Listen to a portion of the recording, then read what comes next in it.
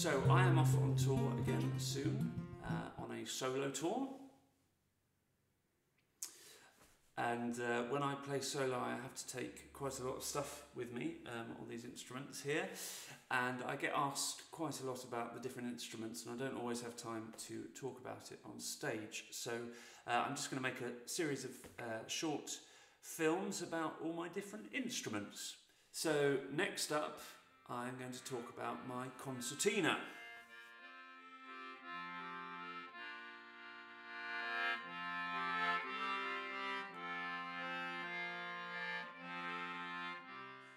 Um, so this is a Maccann uh, duet system, Wheatstone concertina.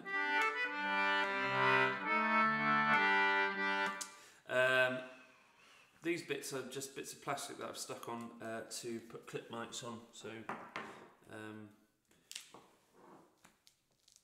you can kind of stick stick a mic on there to to to uh, amplify it. Um, it looks a bit like a kind of alien.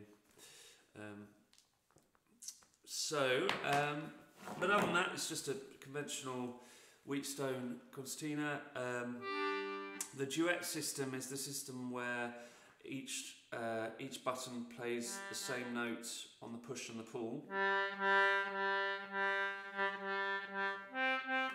Whereas um, the Anglo concertina system, which John Spiers plays, uh, you'll you'll when you, when you watch him, you'll see that uh, when he pushes, uh, it plays a different note to when he pulls. So it's like a harmonica, but this is this is more like playing a harmonium. but uh, the lower notes are all on the left hand and the higher notes are all on the right hand. There is another system called the English system where it kind of bounces from side to side for the scales. That's what uh, that's the system that Rob Harbron plays. Um,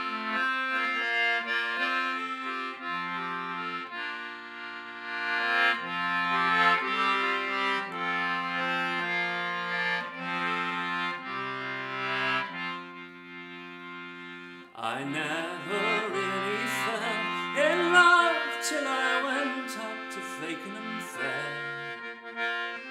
A chance for to meet with the carnival girl selling with fortunes there. Try for a lamp or a shore.